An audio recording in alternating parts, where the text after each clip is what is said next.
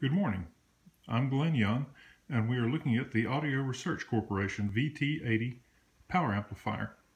This uh, particular amp is a member of their Foundations line, although it uses much of the technology that Audio Research uses in the reference series. Looking at the front plate, the only thing that's here is the power button, but you can see on top of the amplifier the tube complement, which is the two driver tubes, both with dampers, which are supplied by the factory, and the four KT120 power output tubes.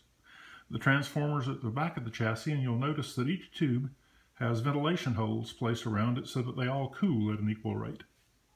As we turn the amplifier around, you can see that the chassis is very generous for the amount of equipment that's here. And on the back panel, we have a variety of interesting things. Um, to the left-hand side, of course, we've got the uh, balanced XLR and the unbalanced inputs. And we have jacks for uh, 4 and 8 ohm speakers. We have a switch here, which is a defeat for the automatic shutoff. The auto shutoff basically turns the amp off after a certain amount of time uh, if you are not using it.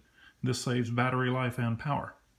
Below, right here, we have a timer, which uh, records the number of hours that are on your current tube set and uh, tells you when it's time to replace them basically.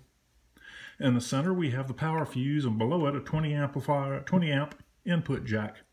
Now no, most people don't have 20 amp circuitry in their home so basically what they've done here is they supply this with an adapter cord uh, which uses the 20 amp input on the amplifier but has a more common 15 amp uh, plug on the far end.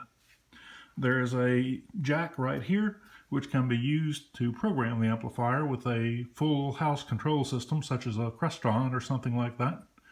We've got a switch that switches between the balanced and the unbalanced inputs. And uh, below that we've got a socket here for a 12 volt input uh, if you want to use the turn on signal from your preamplifier or processor. And again on the right we've got the same balanced and unbalanced inputs and 4 and 8 ohm outputs. So this is really a heavy duty amplifier. It's well designed and uh, it sounds wonderful. Uh, it's not inexpensive, but if uh, you're the type of person that buys something and keeps it for years or even decades, this is worth considering. Goodbye.